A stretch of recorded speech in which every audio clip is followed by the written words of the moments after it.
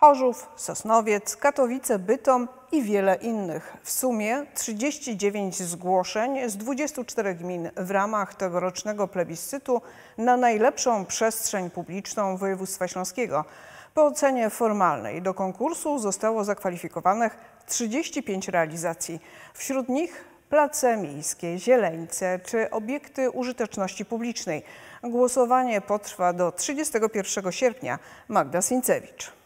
Plebiscyt organizowany jest co roku przez Urząd Marszałkowski w Katowicach. Wpierw zrealizowane inwestycje oceniają urbaniści i fachowcy, a później swoje głosy oddają mieszkańcy regionu.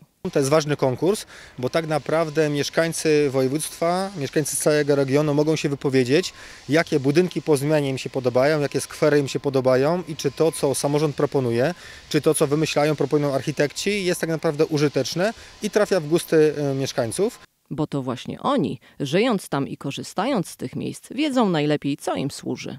Bytomianie są mistrzami e, wszelkich głosowań internetowych, e, są bardzo dumni ze swojego miasta jeżeli tylko Bytom pojawia się w jakimkolwiek konkursie, to widać duże zaangażowanie mieszkańców, nas to bardzo cieszy, e, bo faktycznie widać dumę z tego miasta, które, które się zmienia. Jak na przykład tu, w kolonii Zgorzelec, gdzie zrewitalizowane zabytkowe osiedle robotnicze powalczy o tegoroczne głosy. To jednak nie tylko budynki, ale też tereny zielone, zarówno poza miastem, jak i w jego centrum. Wskazaliśmy ulicę Warszawską, a więc miejsce, które jest miejscem reprezentacyjnym i pokazuje, jak można walczyć ze skutkami zmian klimatu, z tym ociepleniem, które występuje, bo miejsce, w którym zasadzone zostały drzewa, pojawiły się ławki. Przypomina ono bardziej deptak, którym kiedyś e, właśnie ulica Warszawska była. W głosowaniu, które rozpoczęło się 1 sierpnia i potrwa do końca miesiąca, prócz nowych realizacji pełniących funkcje obiektów kultury, edukacji czy rekreacji, są też i obiekty historyczne, jak słynna Chorzowska Elka.